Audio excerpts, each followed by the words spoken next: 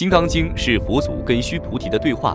佛祖曾对须菩提说：“等你开悟之后，把《金刚经》里最核心的四句话解释给世人听，让更多的人都开悟，这就是莫大的功德。”那这四句话是什么呢？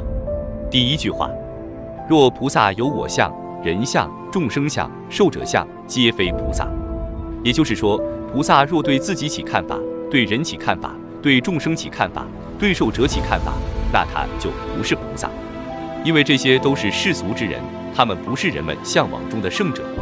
第二句，凡以色拜我，以音声求我，是人行邪道，不能见如来。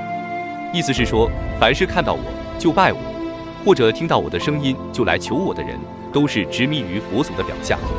佛本无相，相由我心生，执着于幻象的人，永远都见不到如来。第三句话。凡所有相，皆为虚妄。若见诸相非相，则见如来。意思是说，如果一个人不再被事物的表象所迷惑，能看透各种事物表象背后的本质，那就相当于见到了佛祖的真身了。所谓如来，并不是一个人，而是一种能够看穿真相和本质的状态。第四句话，一切有为法，如梦幻泡影，如露亦如电，应作如是观。意思是，一切能够被表述出来的方法。都不是永恒的方法，就像露水和闪电一样，随时都会破灭。一旦抓住事件的本质和规律，一切表象在你的面前如梦幻泡影。